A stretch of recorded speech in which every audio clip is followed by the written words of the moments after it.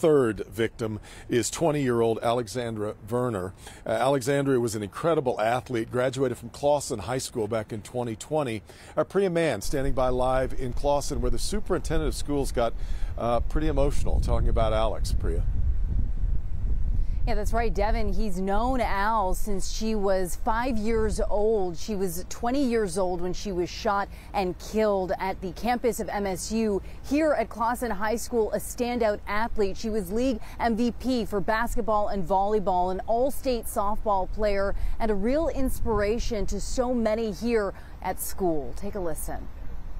Uh, one of the toughest days of my life. Educators say Alexandria Verner, who went by Al, was not only a star athlete, but a role model at Clawson High School. We're struggling. We're all struggling here um, at the high school because of what an incredible person that Al was and what she brought to Clawson High School. Assistant principal and varsity basketball coach Kelly Horn was one of the first to learn Al was shot and killed Monday night at MSU. We got the text message that no one wants to get at, at about 3 a.m. To wake up at 5 a.m. to that text from, from my assistant principal um, with that news was devastating. The superintendent of Clawson Public Schools says Al was a natural leader. She walked the halls every day modeling high character, uh, modeling uh, the utmost kindness.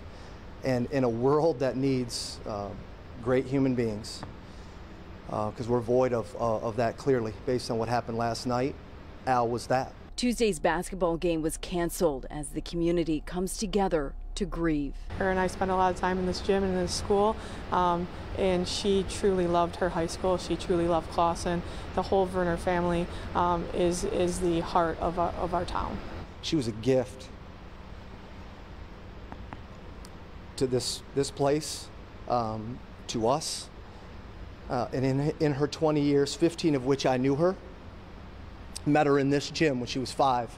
Um, she's a, she's a, she's a life changer for, for all of us. She'll impact you on a level that you, you wish your, your children and students, um, young leaders would. She defined it. And Al leaves behind an older brother, a younger sister, her parents, and of course, countless friends here at Clawson High School and in the greater Clawson area. There are memorials and vigils planned in the coming days, as well as grief counselors here for students. Uh, educators tell me that's their primary focus right now, coming together for the Verner family and also grieving with the students here. Uh, of course, just so many questions about how such a young life, such a promising life, could be taken so horrifically. Reporting live in Clawson tonight, I'm Priya Mann, Local 4. Boy, that's so true. All right, Priya.